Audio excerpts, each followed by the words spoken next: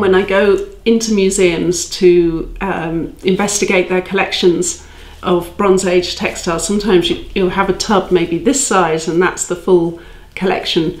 Whereas at Must Farm, there are four big boxes full of finds of the fibre and fabric fabric assemblage. So just in terms of quantity, it's an absolutely um, amazing uh, assemblage to um, to have for the Bronze Age and, and a basis to really revise what we understand about Bronze Age fibres and fabrics. So there's just having so much more has all sorts of implications.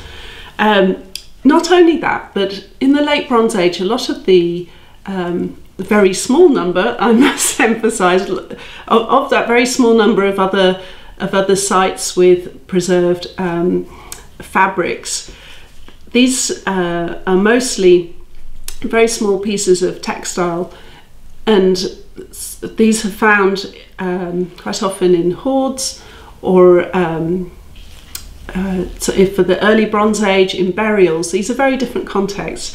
Whereas at Must Farm, we've got a living area. And so it's not just the finished product that we're finding, so something someone put into a burial or wrapped around a hoard of weapons, um, which is also fascinating. But to find something in a settlement area, um, as at Must Farm, brings a different perspective because we don't just have the finished products, but we also have the objects as they were being made. So we have bundles of processed fibre, uh, for example, we've got balls of yarn, and that's really unique. And, and that's uh, not just because there's a lot of it, but also just through the category of finds. That really helps to bring a different understanding of the of this process of, of making the fabrics in the Bronze Age.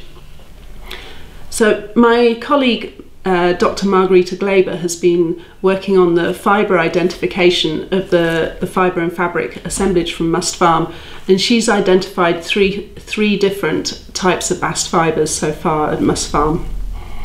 She's identified um, lime bast fibres, so um, fibres coming from under the, the bark of the lime tree. Um, she's identified um, bast fibres from the flax plant, and these, when they're extracted from the flax plant, we talk about those then as linen. Um, so um, our linen textiles, and at Must Farm, the textiles that so far have been looked at have been made out of, of linen. The other, maybe more surprising result um, that my colleague Dr. Gleba's um, found so far is that some of the bast fibres comes from a nettle taxon. Um, so something something like the, the nettle that we've looked at. Um, and these this identification is coming from a number of finds of the where the yarn is wound onto sticks.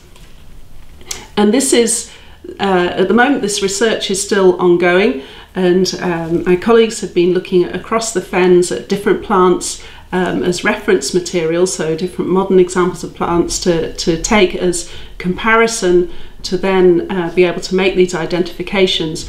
And uh, my colleague is hoping to narrow down that identification somewhat more.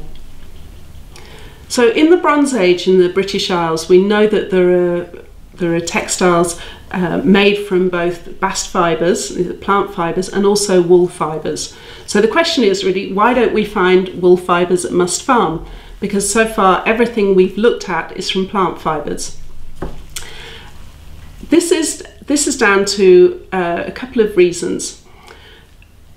In archaeology, we always have to think about what we talk of as the taphonomy, the, this process of, of, deposition and decay, um, and how that alters what we find um, in the archaeological evidence.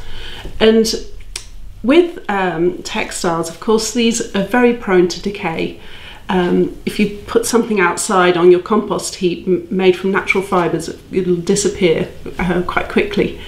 Um, but there are certain reasons why things might then be preserved or, or, or decay very fast.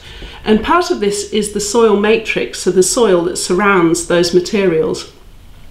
And in um, certain different environments and di- different soil matrix environments, sometimes that will be more conducive to the preservation of plant fibres and sometimes more conducive to the preservation of animal based fibres and, and products.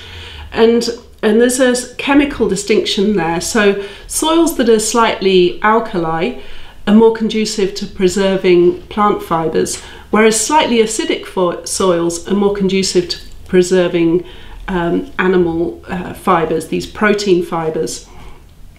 So at Must Farm, the preservation, preservation conditions are preferable towards the, the plant fibres remaining.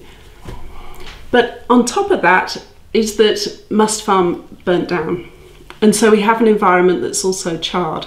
So when the all many of the finds, the different uh, materials, the wood, the pottery, you know, they they suffered from burning, slight charring, and the the fibre and fabric assemblage of Must Farm was also part of that burning experience. So some of these um, will have, have charred uh, lightly before they then drop down in the fire as everything decomposed into the to the water. And that charring is also a reason that the wool fibres wouldn't have been preserved because when um, when wool fibres are heated up, burn, they they collapse, they shrink, um, and they will uh, they decay. They they turn to to nothing very quickly.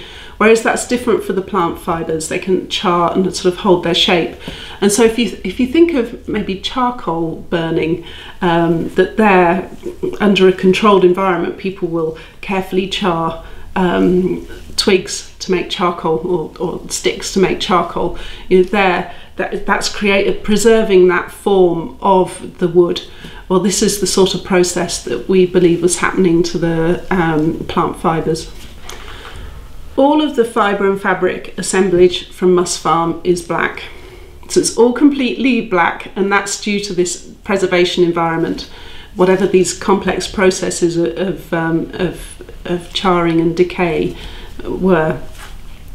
So that means that we don't, uh, we can't visually look at the material and understand the, the colour of it.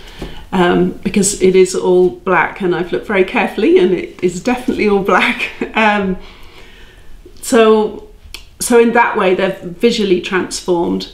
Um, but, but actually, the process of charring, you know, or, or, these processes of, of um, decay and uh, and preservation have been favourable at Must Farm. And that's why we have this wonderful assemblage. And so, although it's changed colour, there's a lot of um, still the the shapes of the of some of the objects are preserved, and um,